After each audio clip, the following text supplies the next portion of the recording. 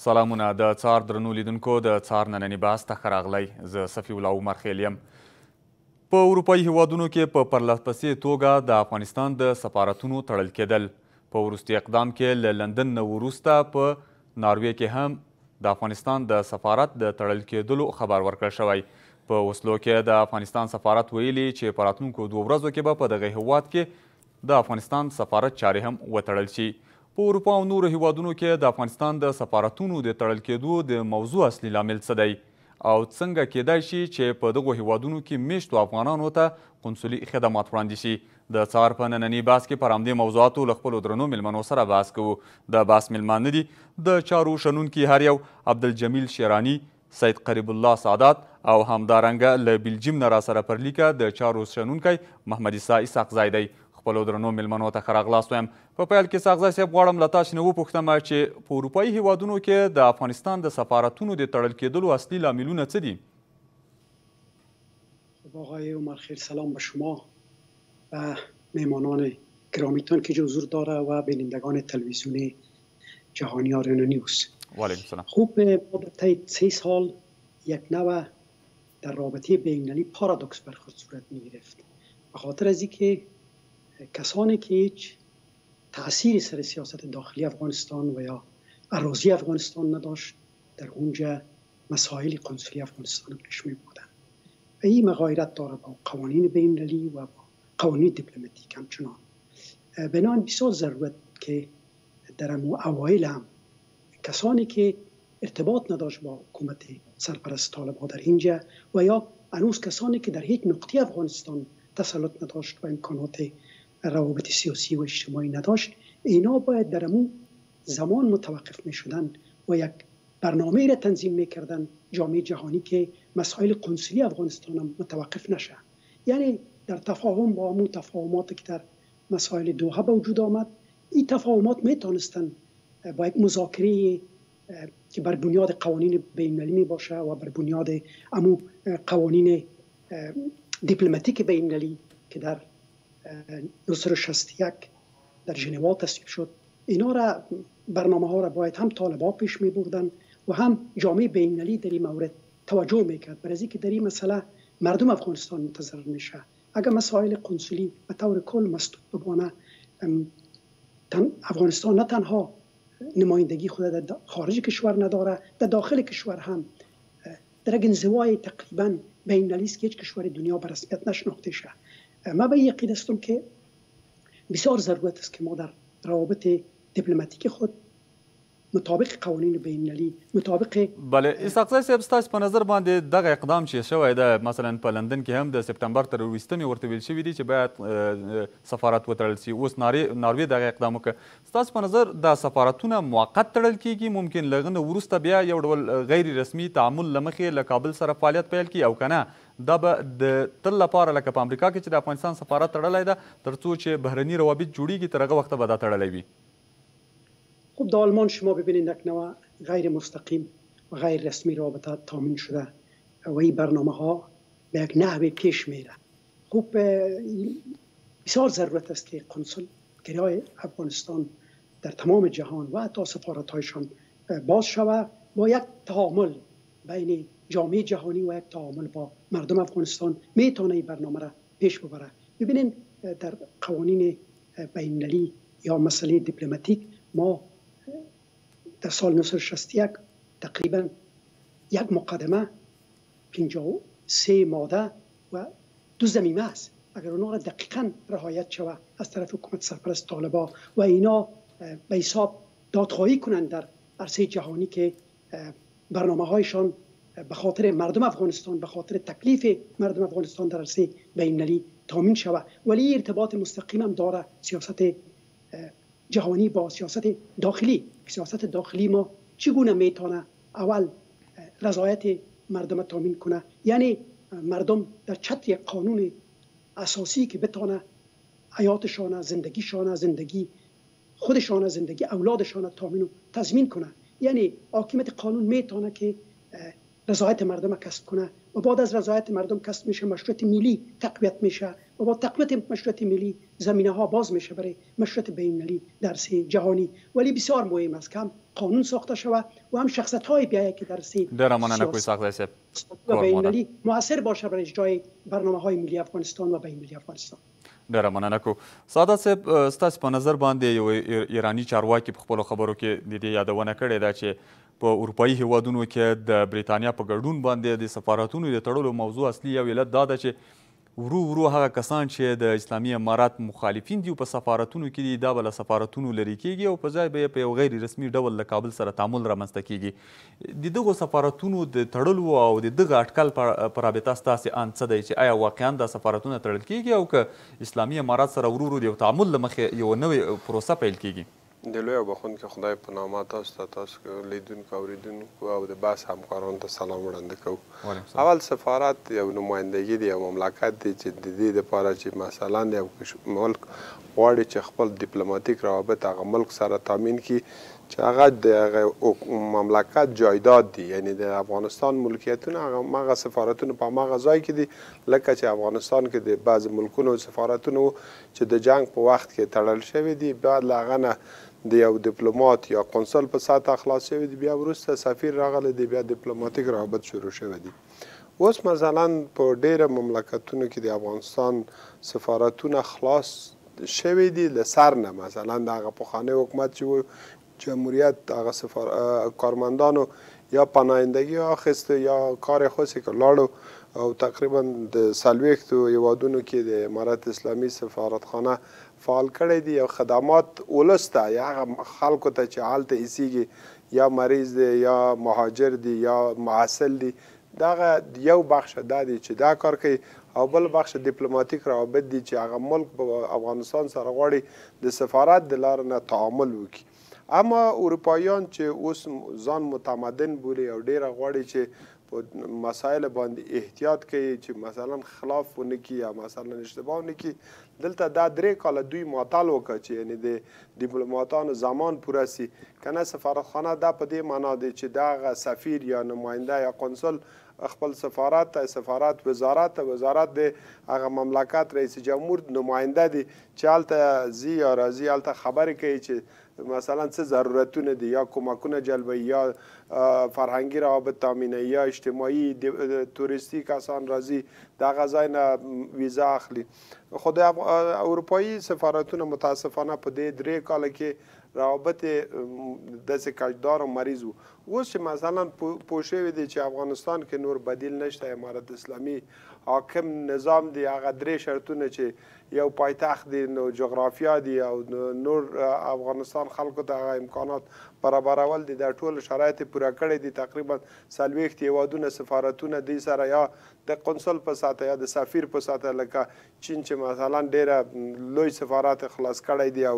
خپل سفیر رسما افغانستان ته ولېږه. اوس پوښتنه همدا ده چې دغه هیوادونه سفارتونه موقتا تړي او که نه؟ دوی وایي چې وخت پوره ده، نور ممکن ډیپلوماتیک خدمات ختموي. نه ډیپلوماتیک روابط نشي ختمولی ځکه هلته افغانان دي، افغانان هغه مجبور دي چې د هغوی ته خدمات ارائه کړي، د کوم د لار نه کوي چې مثلا آلمان کړی دي دوه قونسلګري بند کړی دي، یو قونسلګري پرېښود د چه شي په خاطر د هغه چه افغانان هلته مراجعه کوي یا مشکلات پیدا کیږي یا ضرورت پیدا کیږي دا کار لندن هم کوي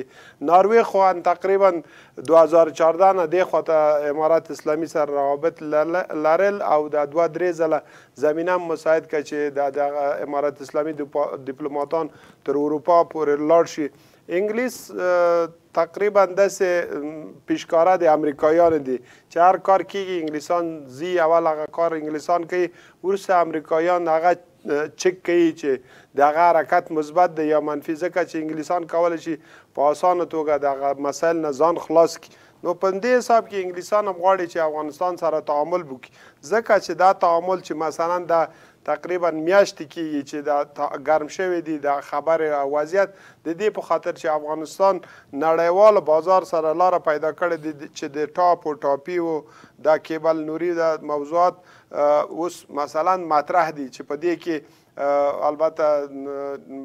روسیه هم موافق دی چې دا پروژه تطبیق سي دا هندوستان ته ځي دا پاکستان ته ځي دا ترکمنستان ته ځي نو دا اقتصادي موضوعات نړۍ نه مونږ تاسو سره مینه لري نه پخوانی جمهوریت باندې زړه سوزي درلود هماغه ملکونه چې اوس امریکا دي یا مثلا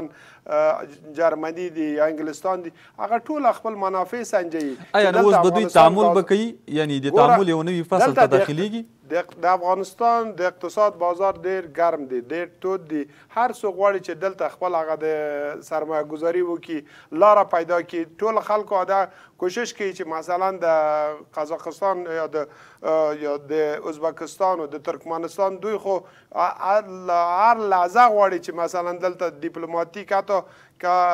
د خپل مثلا فکر وکړي چې صدمه نه اینی شاید د سفارتونه چې خلاص کړی دي د رسمیاتي کې دوی ګام کیدی په همدی موضوعاتو باندی اروپایان دلته پات سو د افغانستان د قضیه نه مثلا شل کاله امریکایان سره دلته تاوان ورکړی دی د افغانستان کی چه د ګټه خبره راسی نو دلته دوی بی برخه پاتی کیږی په همدی باندی چه بی برخه پاتی چه روابط قطع کی ډیپلوماټیک نه خامخا بر به کاملا همدا د تا خبره چه نه غواړی چه دلته روابط قطع کی که روابط قطع کی دا همداغه موضوعات چه په منطقه کی جاری دی افغانستان نقطه وصل دی دلته چین او مثلا ایران او هندوستان او د نړۍ تقریبا نیمه نفوس د افغانستان د لاره د ځمکې نه استفاده کولی شي نو په همدې حساب کې اروپایان دلته بې برخه پاتې کېږي که سبا جنګ مثلا درېږي اوکراین کې د غزه جنګ خلاصېږي اسرائیل مثلا دا ظالمانه حرکات درېي نو دلته خبر په اقتصاد په بازارو هغه خبرې کېږي چې اوس نړۍ هغه ته ژمن دي مثلا ډېره په کرونا که خلکو تاوانونه لېدلي دي د هغه د جبران د پاره هم خام مواد ته ضرورت لري هم کار د پاره ضرورت لري هم لوی تجارتونو د پاره ضرورت لري حتی امریکایان بعد له انتخابات نه شاید یو زمان هغوی ته وایي چې تاسو خپل کاروبار کې هغه قاره امریکا کې مصروف سئ پرېږدئ چې اروپایان بېرته هغه عادي حالت ته راشي ځکه اروپایان اقتصاد ډېره ځپل شوي دي که دا تجارت رونق واخلي د هغو کاروبار هم جوړیږي که د منطقې تجارت ودریږي نو طبیعي ده چې د هغوی نور هم اقتصاد ذلیل کیدی او ضعیف کیږي. ډیره مننه کوو کور ودان سادات صاحب له لږ ځنډ وروسته بحث ته دوام ورکوو.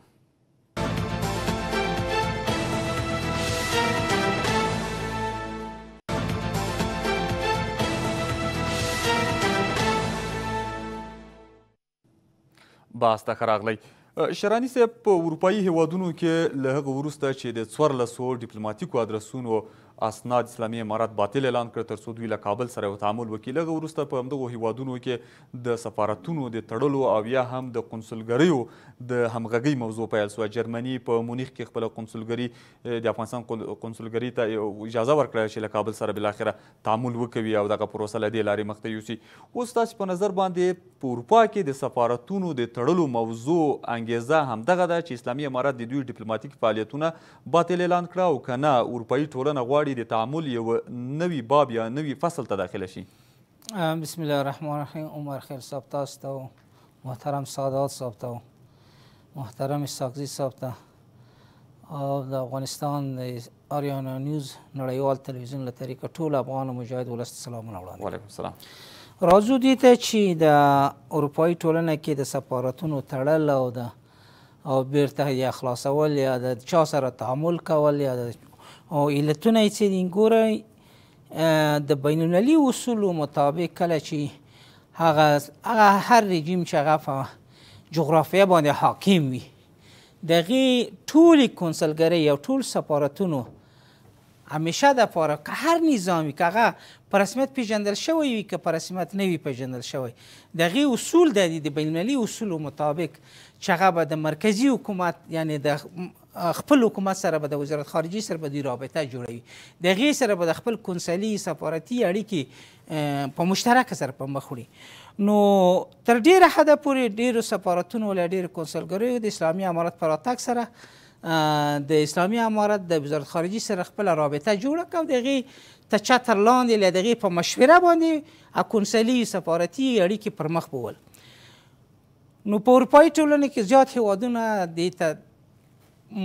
نایل نه شول یا دې ته غاړه کېنښوده چې د اسلامي امارت سره دوی هغه خپل اړیکې برابرې کړي د غیر سره مشوره یعنی خپل د سفارتونو او ډیپلوماټان بل اخر د تازر نه و چې له کابل سره بالکل د خپل د تازر نه و او هغه مطبوع هوادونه چې الته د افغانستان سفارت له کونسل الته موجود و هغه هم تر یو حد پورې دوی سپورټول ترڅو اسلامي امارت تر فشار لاندې راولي یا د انزوا خواته بوزي یا نړۍ ته داسې وښیي چې نو اسلامي امارت له ډیر مدبرانه سیاست څخه کار واخیسته تقریبا درې کاله یې دوی ته حوصله وکړه درې کاله یې ډیره حوصله ده او بالاخره چې دوی نور غاړه نه ښوله او د اسلامي امارت تر سره هغه کون کونسلي او سفارتي اړیکې نه مشوه نو اسلامي امارت مجبور شو د با بیا د بینالمللي قوانینو مطابق کله چې هغه سفارت یا کونسل د خپل هیواد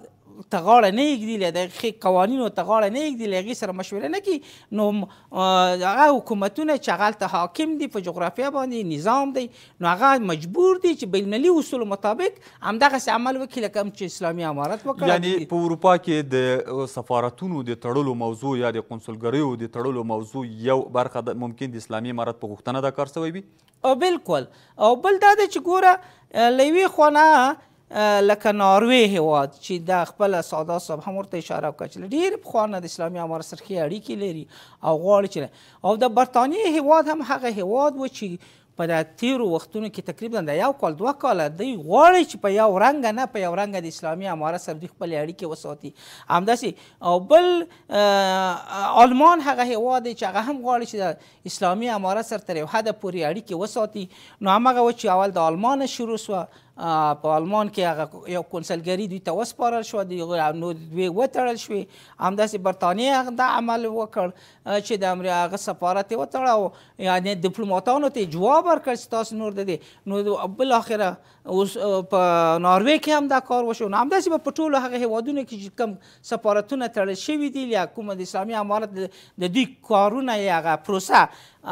غیر قانوني اعلان شوې ده نو دوی اوس هغه هېوادونه هم مجبور دي چې دغسې سفارتونه وتړي او بالاخره د اسلامي امارت سره د تعامل له لارې د اسلامي امارت په خوښه هغه څوک دې کونسل ته لیا د شازداپیر په توګه لیا د سفیر په توګه لیا د یو ټیټ رتبه مامور په توګه هلته ولېږي ترڅو هغه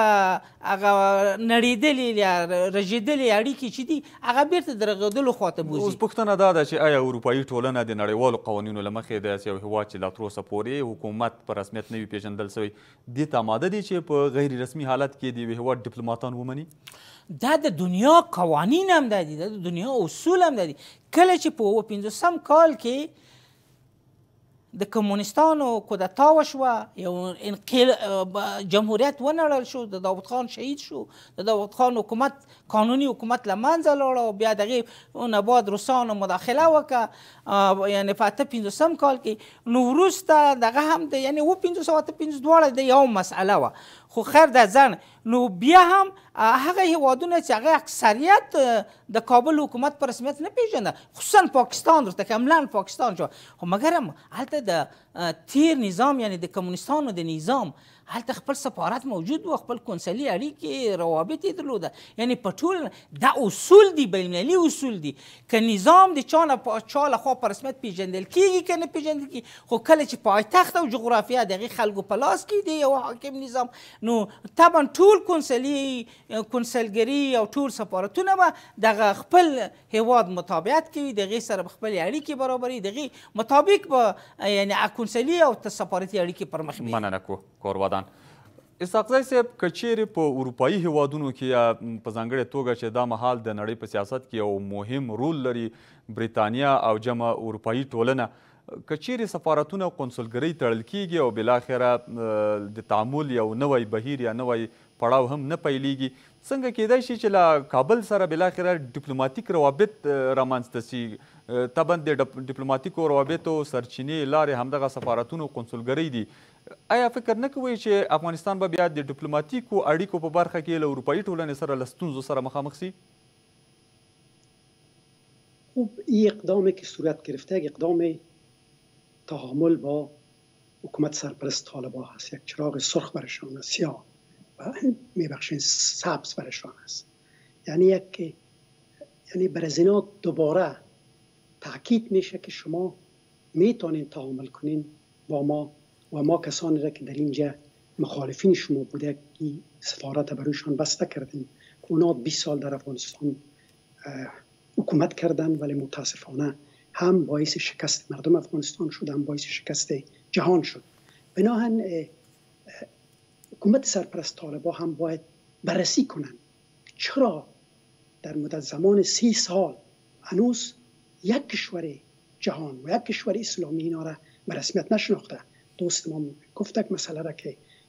اگر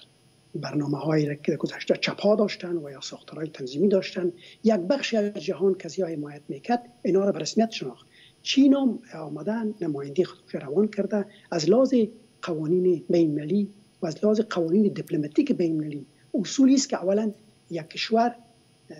او مملکت به رسمیت میشناسه و بعد از او باز توافق میکنن که اینا سفرا و یا نمایندای خود بفرستند و بعد از که نماینده فرستاده شد مطابق امو قوانین که مسئولیت های دیپلماتیک داشته باشه و قوانینی که تعریف شده در قانون به حساب وین 1961 این باز شروع میشه این کشورهای منطقه هم تلاش دارن که به یک نوع افغانستان داخل برنامه های جنگ سرد بسازند یعنی تشویق کنند که در تقابل با غرب قرار بگیرند این در تقابل با منافع ملی افغانستان است اگر ما باز هم در یک قطب قرار بگیریم مثل که چپ ها در یک قطب قرار گرفتند تجدید شدند مثل که ساختارهای تنظیمی هم در یک قطب قرار گرفتند برنامه های خود کتی کشورهای منطقه پیش بردند و افراطی برخورد کردند و ایدئولوژیک برخورد کردند اینا شکست خوردند ما به یقید هستم که اینا بیاموزن از دوره 40 سال حضرت محمد صلی یعنی استاد په نظر باندې د توازن موضوع د اړیکو د غرب او د شرق ترمنځ یا په ځانګړې توګه د غربي هېوادونو او د روس چين ترمنځ د توازن موضوع ته باید پاملرنه وشي. کاملا ظاهر شاه امی برنامه را پیش برد و در عرصه بینالمللی شیخ السفرا داشت شیخ السفرا در ملل متحد می توانست در هر نشست بینالمللی اشتراک کنه یعنی ما در اروپا ویزه کار نداشتیم شهروندان ما که به جرمنی می رفت او وقت ویزه از اموجه در میدان اوی ویزه میدادش ویزه هم میدادش بنان اینا یک اعتدال و تعادل باز کردن و در حین حال برنامه های پیش بردن که اینا رضایت مردم کسب کردن یعنی به طرف ریفرم های آزادی خانه و انسانی قدم به قدم به پیش میرفتن بالاخره باید که برنامه های کودتا تنظیم شد بخصوص با تحریک روس در وقت اینمی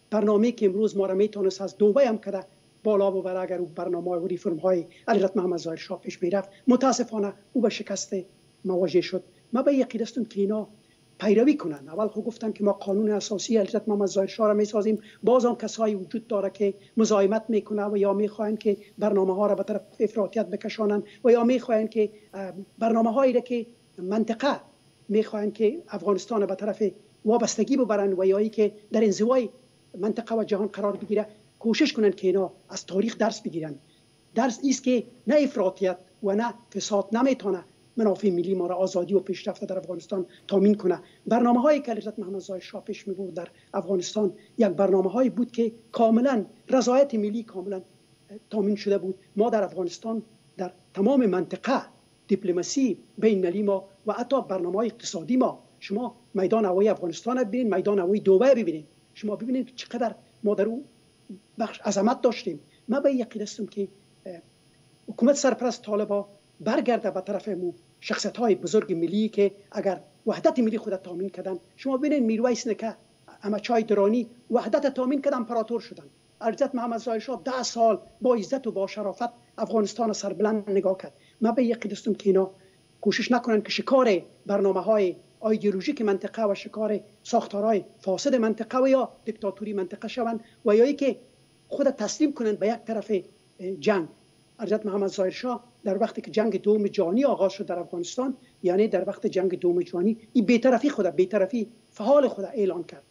و کسانی که در افغانستان پناهنده شده بود اونا را محافظت کرد چی از طرف شرق بود چی از طرف غرب بود من به این عقیده استم که یک سیاست اعتدال فعال ملی ما را میتانه که عزت داخلی ما را هم بلند ببره و عزت بینالمللی ما را. ډیره مننه کویساخزی صاحب کورموودان له لنډې دمې نه وروسته بیرته راګرځو.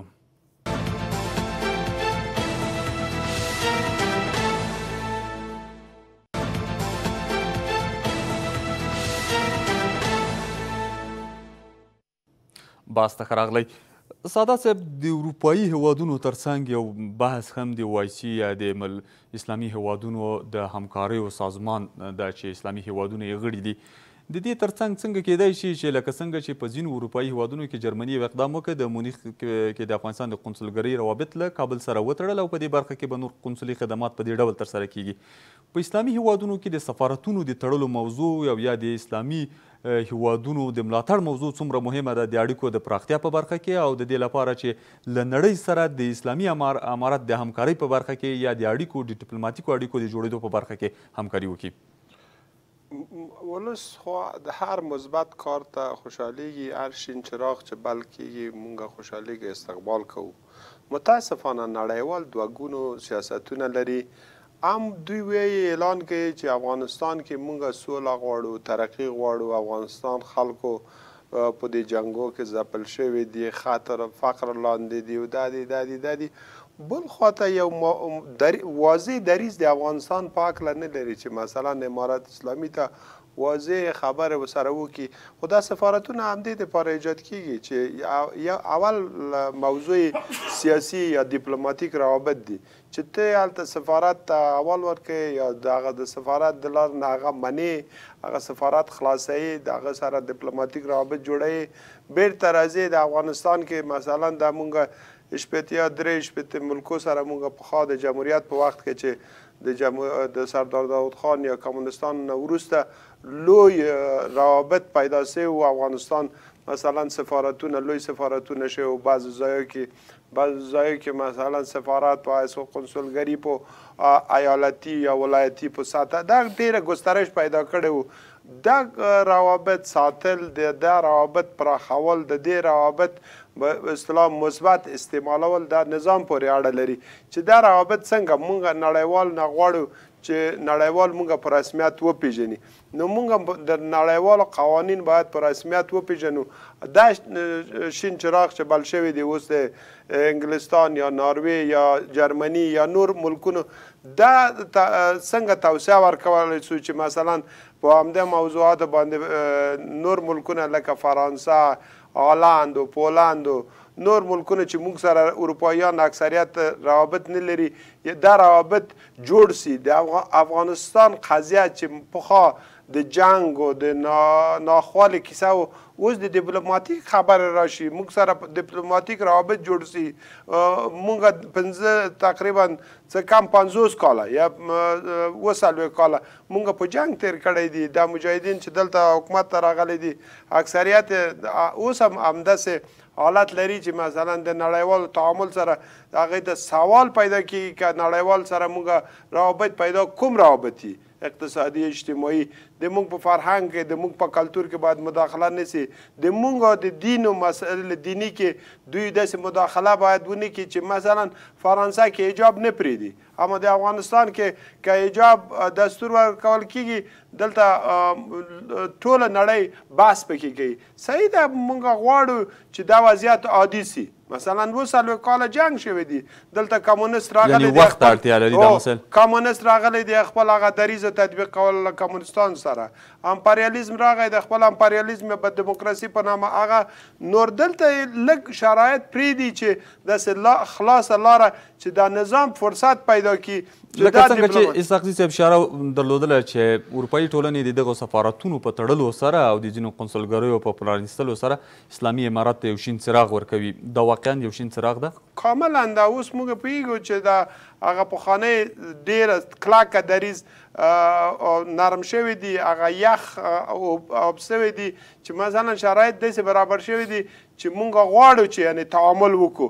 اما اګر لري چې مونږ تاسو په اما اګر کې پوهیږو چې هغه ډیره تکراري خبره دي چې افغانستان کې د حقوق بشر او حکومت او قانون اساسي او مکاتب او پانتونو د دشان کې هغه سوال لري نو دلته امارت اسلامي ته ضرورت دي چې دا سوالونه چې ډیر شوي دي باید زر تر زره دې دې ته ځواب پیدا کړي، نړیوال ته قناعت ورکړي، دا پروژه بین المللي پروژه دي چې د ټاپ او ټاپي او دا کیبل نوري چې افغانستان نړۍ سره وصل که اوس مثلا اوس د مونږ د نړۍ منافع مشترک دي، خبرې مشترک دي، هر شی.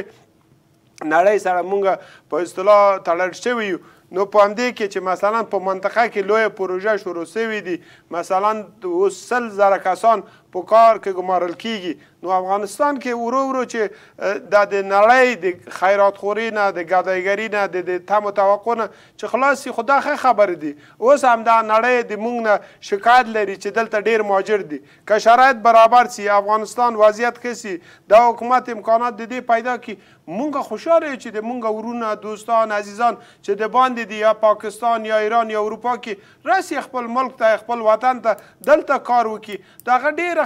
مسایل سیاسی نه دی مثلا د همدا دسی فکر وکه چی لس میلیونه مونږ مهاجر لرو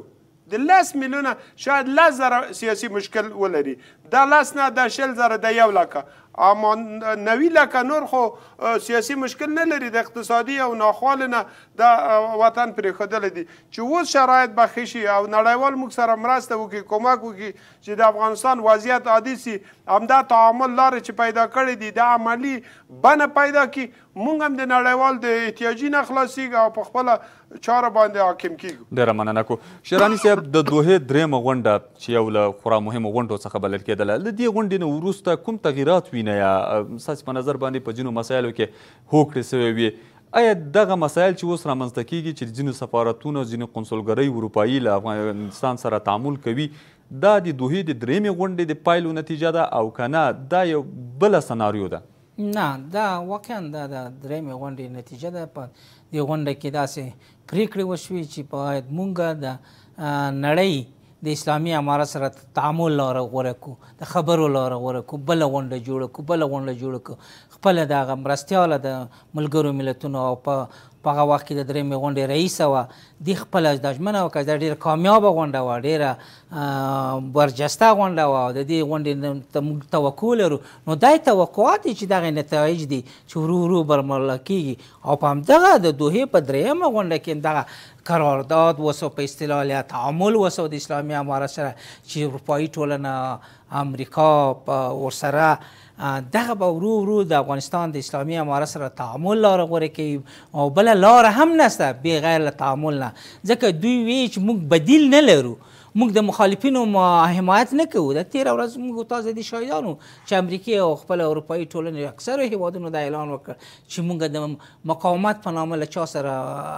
حمایت نه کوو موږ د جګړې لپاره تیار نه یو یعنی د افغانستان د اوسنی نظام دوی یو حقیقت بولی که څه هم چې په خوله نه وایي او نه اوچتوي. د دې ترڅنګ اسحاق صاحب یو ټکي ته اشاره درلودله سره له دې چې مثلا لویدیځ هېوادونه له اسلامي امارت ته یو شین څراغ ورکړی په عین وخت کې روسیه، چین، ایران د سیمې یو بل قدرتمن هېواد لکه هند له کابل سره د تعاملاتو په برخه کې په ځانګړې توګه چین، روس او ایران نږدې دي نو که په دغسې حالت کې توازن ونه ساتل شي ممکن افغانستان له یو بل ټکر سره مخامخ کړي. د افغانستان د اوسنی نظام دغه او سیاست یې وزارت خارجي سیاست یې او بهرنی سیاست یې یو متوازن او مدون او اقتصاد محوره سیاست دی ځکه دوی وتوانېدل چې د نړۍ سره ان د امریکې سره ان د چین سره ان د روسیې سره او هم د ایران سره د ترکیې سره همداسې د ګاونډیو هیوادونو سره د سیمې د هیوادونو سره دوی حتی د هندوستان د هیواد سره خپل توازن وساتي هغه خپل یعنی د بیطرفي وښي یعنی د تقابل حالت دوی په یو حالت کې قرار پیدا نه کړ ښاغلی استاد یو ټکي ته اشاره درلوده چې کابل دا وخت د نړۍ د تجارت د مرکز د سیمې د تجارت د مرکز د بدلیدو په حال کې ده یا دلته د تجارت لمن په ورځ پراخېدو په حال کې ده ویل کېږي دا سبا ته د ټاپي پروژه هم پیلېږي چې دا هم د سیمې په روانو چارو باندې خورا ستر اغېز کوي څومره موافق یاست چې د اروپایي ټولنې یا د نورو هیوادونو د سین چراغ شین چراغ نتیجه یو دا هم کېدای شي چې په افغانستان کې د سوداګرۍ لمن پراخه ده او د روانې چارې یو اقتصاد محوره سیاست په خپل لمن کې راټولي کړي دي یعنی موافق یاست بالکل زه د دې سره موافق یم چې اسلامی امارت د اقتصاد محوره سیاست و توانیده چې دغه زمینه برابره کې ګوره د ټاپی پروژه له ډیره وخت شروع ده حتی د جمهوریت په وخت کې چې په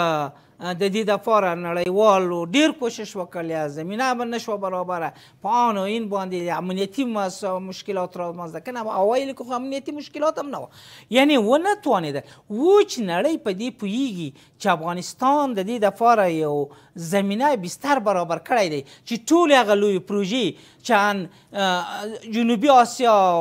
او مرکز منځنۍ آسیا یو له بل سره وتړي همداسې د اتصال لاره چې د اروپایي ټول اروپایي نړۍ سره همداسې د امریکا سره د ټولې نړۍ سره یعنې افغانستان یو هغه بدیل دی له هغه لاره دغه ترانزیټي لاره ده چې نور نن هغه ترانزیټ له پخوا چې په اماراتو کې و لکه دوبۍ او ابوظبۍ دا اوس نړۍ غواړي چې افغانستان څخه هم داسې یو ترانزیټي بین المللي سټنډر ځای یا مرکز جوړ کړي چې نړۍ وکولی شي چې په ډېر اسانه سره زمونږ ګاونډي هېوادونه د سیمې هېوادونه چې منځنۍ اسیا ته لاره پیدا کړي له منځنۍ اسیا نه جنوبي اسیا ته د اتصال لاره پیدا کړي له چین سره د ورېشمو په نامه یو لا سړک جوړ شي همداسې د لاجوردو په نامه یو سړک جوړ شي همداسې لوی پروژې دي چې هغه د کازار پروژه ده همداسې د ریل پټلۍ ده همداسې د ټاپي پروژې دي مختلفې پروژې دي چې په دې کې ان د نړیوالو ګټې دي ان د افغانستان لپاره ګټه ده نو اوس دغه سیاست محوره اقتصاد محوره سیاست چې اسلامي امارت غوره کړ یعنې هندوستان هغه هېواد و چې دوی همېش به داسې فکر کاوه چې د اوسنی نظام چې لیا راځي راغلی نه وه او لیا به وي دا به د پاکستان منافع تمویلوي دا به د مل پاکستان د پاره کار کوي یعنی خو اوس ثابت شو چې نه دا خلک خپلواک دي آزاد او دا خلک نن چې راغلي دي دغه ژمنه او اراده لري چې د ملک د افغانستان د پاره او د نړۍ سره یو اقتصاد محور سیاست ولري ډېره مننه کوشراني صاحب کور مو ودان له لنډې دمې وروسته بحث ته راګرځو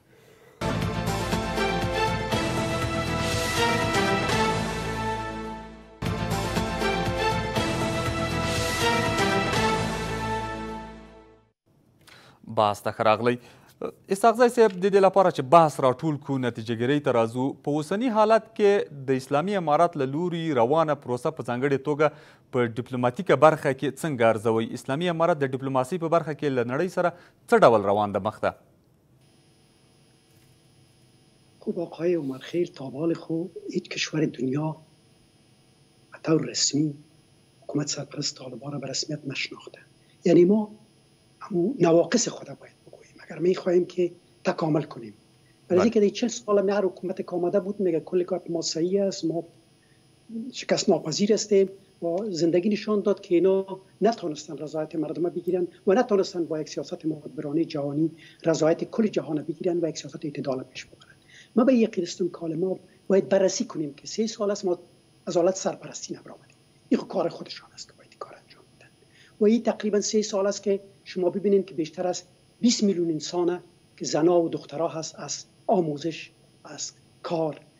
و بالاخره از تولید معروم هستند در بین از این نابغه ها هستند شما ببینید در کشورهای مختلف دنیا وقتی که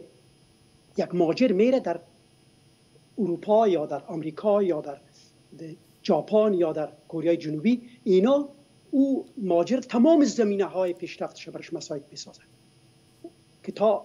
استعداد است که جامعه شانه به تکامل میبره از لحاظ اقتصادی از لحاظ سیاسی و اجتماعی یعنی ما نواقص خود خلاهای خود اگر جهان بر ما تقاضا میکنند که شما مکاتب باز کنید و مردم هم صدا میکنند 99 فیصد مردم هم صدا میکنند حتی ستاسو په نظر ساغزی صاحب کوم کارونه مهم دي چې په لومړیتوبونو کې باید ورته پاملرنه وشي ترڅو له نړۍ سره زموږ د ډیپلوماټیکې برخې ستونزې پکې هوارې شي حاکمیت قانونی ایجاد کنیم بر بنیاد منافع ملی افغانستان هدف ما از منافع ملی رفتن به برنامه های تجاوزکارانه و فاشیستی نیست یعنی یک حکومت ملی طرفدار آزادی و عدالت که همه شهروندان در مقام شخصیت ملی و انسانیشان رعایت شود صرف نظر هر نوع تعصب ما زمینه رشته آموزش و استعداد برای همه شهروندان افغانستان باز کنیم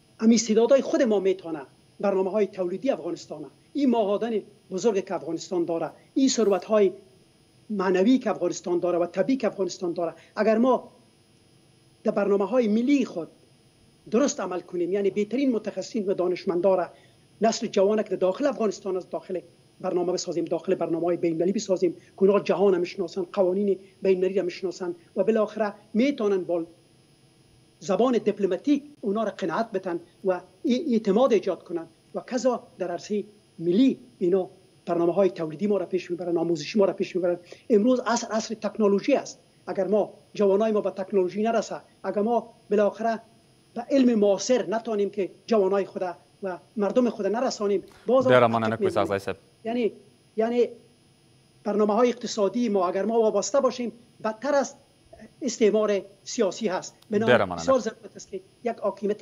قانون ایجاد شود تا رای آزادی و عدالت و تامین منافع ملی افغانستان باز شود که در داخل و بیرون سربلند و با افتخار باشد. مننه کوی ساخته صاحب کور مو ودان. سادات صاحب فرصتونو ته په کتو سره یا هغه شین چراغونو ته چې نړۍ اسلامي امارت ته ورکوي یا ځینې نور فرصتونه رامنځته کیږي دا فرصتونه څومره مهم دي چې د راتلونکي لپاره هم اسلامي امارت ورڅخه استفاده وکړي او هم له نړۍ سره یو نوی تعامل رامنځته شي؟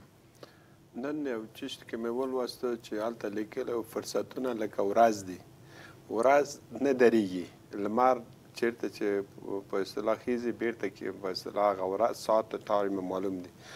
مونږ باید د فرصتونو استفاده وکړو، جنګ افغانستان کې درېدلی دي، ختم شوی نه دي، انګېزه د جنګ لپاره هم نړۍ لپاره شته هم افغانستان دننه شته، مونږ که مثلا دا افغانستان کې یو وضعیت وینو که فقر دلته ګسترش پیدا کړي جنګ احتمال د دې زیاتیږي که فقر ختمیږي د جنګ یو عامل ختمیږي مثلا د داخلي مشروعیت په دې معنا چې دلته د سرپرست نظام په ځای یو دایمي نظام، اصولي قانون، اساسات، دا ټول مسایل برابر شي، بل برخه د جنګ ختمیږي. د افغانستان تعامل یا رسمیت پیژندل چې دلته شروع شي، دا بل برخه ختمیږي. مونږ چې یو اساسي قانون چې مدون تعریف شوی نظام چې منافع ملي پکې تعریف شي د هر چا دریځ او مسیر کاري معلوم شي چې دا زمان، مکان، قدرت، صلاحیت، ماموریت، مکلفیت دا ټول چې معلوم شي دا بل برخه د جنګ ختمیږي یعنی د جنګ لپاره شاید یو فیصد یا نیم فیصد یا پنځه فیصد موضوع به پاتې شي چې هغه بیا د نظام د ړنګولو وس نه لري اما اوسنی شرایط یعنی بنیادی مسایل به حل شي اوسنی شرایط کې ډیره بهانه د نړیوالو په لاس کې شته چې مثلا اوس د غرب او شرق یا د روس او د امریکا مشکل استه د چین او د امریکا مشکل استه په منطقه کې بعض مشکلات استه بعض عقیدوي بعض اقتصادي موضوعات دي چې مونږ تاسو د هغه نه خدای نه خواسته متضرر کیږو نو په دې باندې که نړیوال ته وایو چې راسئ موږ سره تعامل وکړئ یا د افغانستان په رسمیت پېژندلو کې دا کار وکړئ، طبیعي ده چې نړیوال هم څه غوښتنه لري، باید موږ خپل منافع په نظر کې ونیسو، خپل اعتقاد، باور، دین هم هر ټول شیان په نظر کې ونیسو، د داخلي مشروعیت او خارجي مشروعیت ته موږ لاره ورکړو.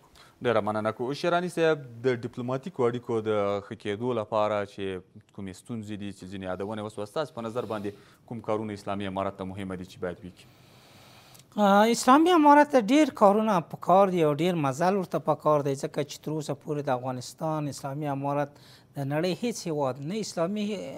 هیوادونه او نه کفري نه غیر اسلامي هیوادونو پر رسمیت پیژندلی نو تر ډیره حده چې تر یعنی 50 فیصد دوی دا کار کړی دی چې د لار برابر کې د دیپلوماسي د لار اوس په کار دی چې د دې فرصت څخه چې اروپایي ټولنې هم سین چې راغ بل کړی دی او غواړي چې د اسلامي امارت سره تعامل وکړي له دې فرصت څخه ګټه ترلاسه کړي او دا فرصت نور له لاسه ورنه کړي یعنی خپله په داخل کې اول دوی داسې کار وکړي چې یعنی بعضی خلک چې ځان له حکومت لري بولي ځان په حکومت کې دخیل نه بولي یعنی د هغه بعضی خلک چې د دې لپاره تبلیغ کوي یا خپل خلک بعضی خلک ځانونه خپه احساسوي هغه هم په ځان راټول کړي هغه ته هم د کار زمینه برابر همدغسې لوی لوی پروژې له لوی لوی برنامې جوړې کړي لکه د سبا ته چې له خیره سره د ټاپي پروژه افتتاح کېږي، په دې کې زموږ هغه خلک چې هغه اوس په دې حکومت کې ځا نه ویني له په دې نو هغه انجینرانو لپاره هم متخصصینو لپاره که هغه په انجینري بخش کې دي، که د اقتصاد په بخش کې دي، په نورو بخشونو کې د زراعت په بخش کې دي، د دوی لپاره وړتیا برابره شي، دوی سپورټ کړي، دوی نو کله چې د خلکو زړونه دوی ترلاسه کړي او د خلکو باندې د نور هم د واټن را نږدې شو د حکومت او د خلکو ترمنځ واټن نږدې شو نو په دې وخت کې بیا نړیوال هم هغه بعضې منفي پوینټونه لکه همدغسې د یو ابزار په توګه استعمالوي چې دوی کورنۍ مشروعیت نه لري دوی دا دوحه ده آن و این دی نو دوی ته به نړیوالو ته به دا ثابت شي چې دا حکومت وکولی شول په ډیر کم وخت کې با وجود د ټولې نړۍ بندیزونه با وجود د ټولو تحریمونو با وجود د افغانستان پیسې کنګل دوی وتوانیدل په خپلو ګمرکي خپلو د ښاروالۍ په عایداتو باندې یعنی د خپلو عایداتو د ملي بودیجه دوی تصویب کړه درې د درې کلنه بودیجه د دوی تصویبوي همداسې د دوی د لوی لوی پروژې جوړې کې غیر د ملي بودیجې نه تمویلوي یعنی د خلک نور د کار وړ خلک دي باید لدې سره نو اوس نړۍ زړه شکي ترڅو د افغانستان د اسلامي امارت له دې فرصت څخه ګټه واخلي او بل دغه ده دوی د تقابل په حالت کې قرار پیدا نه کړي له شرق او د غرب ځکه که دغه کې دوی قرار پیدا کړ بیا به له د شرق په لمن کې پرې لویږي بیا به د غرب د اوسنۍ سیاست دوی یو کامیاب او او اقتصاد محور سیاست له خپلو درنو میلمنو نه په مننې سره د څار دا بحث په همدې ځای پای ته رسیږي تر بیا ښه وخت